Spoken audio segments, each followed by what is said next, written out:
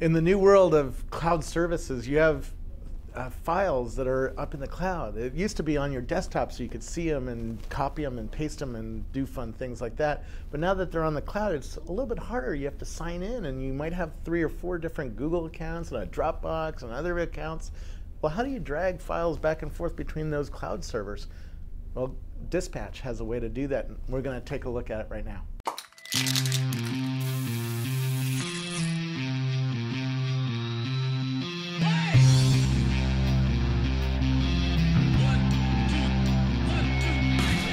Who are you? Hi, I'm Jesse Lamb, and I'm with Dispatch. Um, I've been working on cloud services for the last couple of years, and my team and I, we won the TechCrunch Disrupt Hackathon back in May, and now we're in TechStars building Dispatch. Very cool, and congrats on winning the hackathon. That's not easy. Uh, what was going on at that hackathon? That was a weekend, right? Yeah, there were about uh, we drank about 50 Red Bulls, and we were in the hangar up on the Upper West Side, and just uh, cranked out what we could build. We built a we built a Chrome extension that allowed you, as you're browsing, to move things between your Dropbox and your Google Docs, and anything you come across on the open web, we'd allow you to send to any of those services. Um, and Dave Tisch was in the audience, and before we even got off stage, he sent us an email saying would you like to be interested in hearing more about Techstars? And then we joined, and over the last three months, we took that uh, thing that we built uh, in 10 hours and we've built it into a whole product that we'll be launching soon. Yeah, and it's very, very cool. Thank you. Um, explain what it is.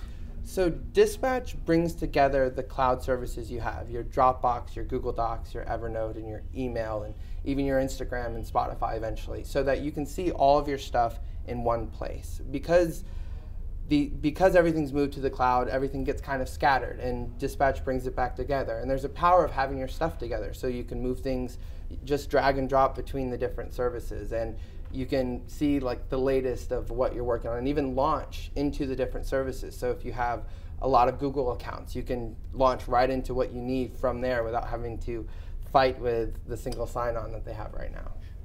Google accounts are interesting. A lot of people have Google uh, Google Apps account and mm -hmm. then a mm-hmm. Gmail, a mm -hmm. standard old Google Gmail account. Mm -hmm. Can I drag emails or stuff, or just files, or uh, tell me what I can drag? Between Right now, you can drag attachments from your email to anywhere, but we actually treat. Uh, eventually, we're going to treat messages as things too. So you could drag a message from one account to the other, or drag a message into your Dropbox, and it becomes a PDF of the message along with the attachment. So the idea is taking your stuff and helping you do what you need to do with it with as little friction as possible. Yeah. Um, and down the road will allow you to create rules so pictures you take with your Instagram automatically end up in your Dropbox. And just the, the our, our overall vision is letting you have the tools you need to do the things you want to do with your stuff, whatever it is. Yeah.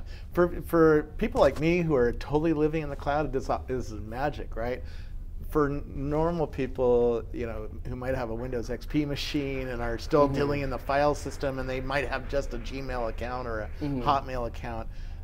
Tell us why we why those people need this. I, I see why I need it, but yeah, there's there's an interesting curve because it's an acute problem for you right now, um, and we see it becoming more of a mainstream problem. My mom uses Dropbox, and my dad keeps stuff in Evernote, and they're not super technical. Um, and when you when you get into services like Instagram and Facebook, where like most of your photos live in Facebook now, yeah. that's that's stuff that everyone has, just across the spectrum of early adopters or mainstream, and the more services there there are, even mainstream people have more stuff in the cloud as well. That's that's becoming the center of our digital life is in the cloud. It's not on a one device anymore. It's on multiple devices, and the hub's in the cloud now. And that's that's something that's going to happen for everybody, um, even if they they're not there yet. Yeah. Tell me about some of the security things you can do, or, or some of the collaborative collaborative things because you can drag a, a, file over to what Twitter and send a tweet. Uh, yeah. Tell me, well, and you can drag multiple things. Uh, tell me about yeah. some of the things you can, fun things you can do with this tool. Yeah. What's cool is when you bring it all together. Um, there's a lot of things you want to do with it naturally. So let's say you have a package of stuff I wanted to send to you, and I only have uh, Twitter as your contact. Well, a lot of I don't know about you, but a lot of my DMs are asking for someone's email address because I need to move to another channel because Twitter doesn't have a way for me to move things back and forth. And what Dispatch allows you to do is you actually can connect your Facebook, your Twitter, your LinkedIn, your Google contacts. And without having to worry about finding another way to contact them or worrying about what services they use, you can send to somebody through Twitter, say, Jesse, check out this video and that we shot. And you click it, I auth with my Twitter so that you know it's me, so it's so it's authenticating, and then you can get the stuff. And what's nice is you don't have to worry about any of the services I use. Just the fact that I use Twitter and you use Twitter is enough.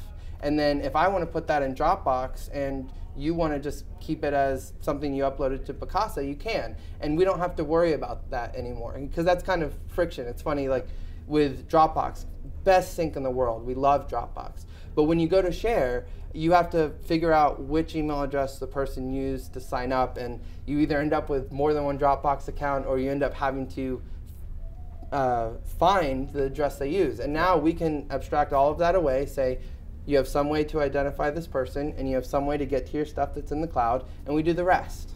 Now that's really interesting because uh, people all the time are pitching me on Twitter, you know, with 140 characters, which isn't enough uh, really to pitch me properly. But then I need to copy Rocky, my producer, mm-hmm. and I can't because mm-hmm. Twitter doesn't let me do you know CC. Mm-hmm. Now Gmail does, right? And mm-hmm. we're all we're both on Gmail. So does this let us really uh, use Twitter in a new way, or uh, use the system in a new way? Absolutely, and and you can use Twitter as a as the medium for the message, and then like, let, us say I'm pitching you and I have like a rudimentary press kit or a demo or login. I can put that behind the dispatch authenticated wall so that the stuff you have is secure to you, but you can use dispatch as the medium. So it will, and not just Twitter, it, it works for Facebook and LinkedIn, and it works over email. It works great with email too.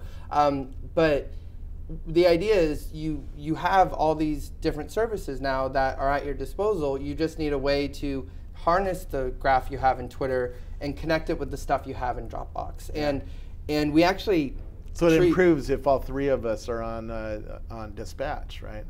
Yeah, absolutely. Because we uh, allow you to create collections and share that collection, and not just we, we have the idea of packages, sending a package, which is sort of a one time, I want to get this stuff to you. But we have this uh, sharing model that we're releasing later that will allow you to put everything into a collection, share the collections, and uh, even track updates. And, and if you want to store something in Dropbox and I want to keep it in my Google Docs, well, Dispatch does that for you transparently. So you don't have to even know what services I want it in. You just connect it, the thing is in one of our collections, and then we have these backings depending on which user. It's actually really cool. And it's not like Threadsy, right? Threadsy mixed some of these cloud services into a feed, right? It's not. Mm. It's not uh, mixing. It's not showing me a tweet and then a Facebook message and then an email message, right? It, it's right. Not out. quite. The the the activity dispatch is focused on the stuff you have in the cloud. So the different that that sort of is the the distinctive thing is is it's your files, it's your music, it's your photos, it's your videos and being able to manage that a, and giving you a hub to manage that from no matter which service it's in or no matter what you want to do with it. And so we, we treat messages like a tweet could be a thing that you want to keep track of later. Um, but we're not trying to build another channel for messaging because we already have really good channels. The idea is uh, extending those so that they can, you can do more with them and uh, maybe finally get people to stop using email attachments so that like that all of the friction that happens around that, just being able to kill that, give you a way to move things back and forth and have a conversation around it in a way that's connected in, about the thing you're talking about. Like there's a lot of power once you bring all these services together and bring all the people together, you know, so that you can work around your stuff in new ways. It's it's really exciting. Well, I, am really excited about it. it it's going to transform my life how are you how, how are you going to build a business on this? Because it's it's one thing to have a hackathon and, and build something cool that impresses the geeks. It's another thing to build a business. Absolutely. Um, what's there's a couple things. One, because we're using uh, connect to all these other services, we get to uh, tap into people who love these services. So our distribution is a lot easier. So the people who are big fans of Dropbox, we can get to them and say we make Dropbox better, and we can get to the people who like Google Docs or Evernote and say we make these services better. So distribution is pretty natural for us, and because we're in the productivity space, even consumers pay for productivity software that makes their lives easier. Yeah. Dropbox is making good money, Evernote's making good money, even GitHub, and these different freemium a freemium model, which is what we're adopting, works for the type of software we're building. Yeah. One last question. What uh, you're in the TechStars uh, New York Mm-hmm. uh, class? What's that been like? It's been incredible. We it's Techstars is amazing because very literally in May we had something we built in 10 hours and it worked and it was cool. But from May to now we're we're October, launched. yep. Uh, we've built something that is ready to be a business and it's we couldn't have done it without Techstars and with the, the mentorship we have and the access to the mentor network and just Dave Tisch and the people around us and being uh, here with the other teams, it, the energy is incredible. It's it's nothing short of life changing for us and our business. Very cool. Well, thank you so much. Where do we learn more about it? Well, our uh, URL is dispatch.io, and you can sign up and connect all your services and let you know let us know what you think. And you're on Twitter and Facebook as well. Yeah, we're at Dispatch on Twitter, and uh, you can find us on Facebook. Just search for us. Very cool. Thank you so much for Thank you,